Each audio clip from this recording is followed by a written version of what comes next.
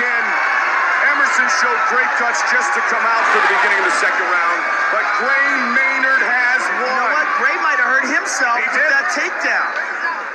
Wow, Gray hurt himself throwing him to the ground. Gray is hurt. Gray might be out too.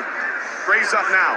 But He Emerson knocked tapped. himself out. That is Yep. crazy. Gray is knocked out. He knocked himself out with that takedown.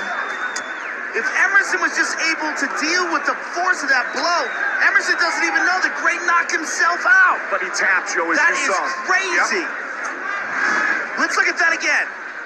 Big uppercut, big left hook. Gray gets a hold of him, lifts him up, bang, and dumps Right him. the He lands on his own head, knocks himself unconscious.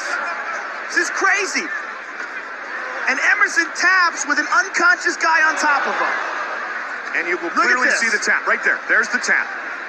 He had no idea. Well, he was so badly hurt going into that round that this was just the icing on the cake. But it's Bam. so crazy that Gray knocked himself out. Look, Rem- he's gone. Reminiscent of Matt Lindland years ago, who knocked himself out on a takedown. And Look at him. Gray His Maynard eyes does. behind his head. But Maynard has won the fight. And still in pain is Rob Emerson. No. Bruce Buffer has the official decision. Ladies and gentlemen, referee Steve Mazzagatti has called a stop to this fight. Neither fighter could continue, therefore declaring this fight no contest. Wow. So they're going to declare it no contest. And Emerson got away with what was a tap. Gray Maynard is overwhelmed with emotion. All right, Gray, you've seen the replay. You, you, you got him, first of all, at the end of the second round, you hurt his rib very badly. He went back to his corner with an injured rib.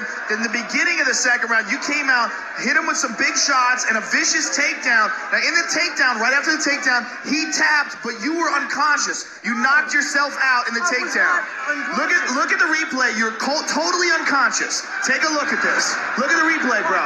Bro, look at the replay. You picked him up. Watch the dump. Bang. You hit your head down. Now watch this. You're out. Watch this. Done right he, there. he is done, but so are you. You're unconscious. Now Look at you roll over. You're completely unconscious. My arm's Your eyes. I understand, but your eyes were rolled back in your head. You were out cold. Did they tell you what happened, or did you know you won right away? I remember sitting in the corner. Um, he tapped. I thought it was over. I rolled over. Of course, I'm a little tired. I roll over. I'm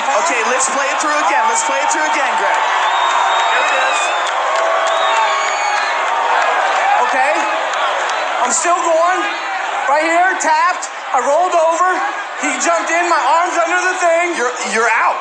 My arm was under his back. Look. Arm is under. You see your head land right there. You see that impact. So he tapped. I, I was done. I was waiting for my arm to The referee is saying that you were unconscious. He was right next to you. Your eyes are rolled back in your head.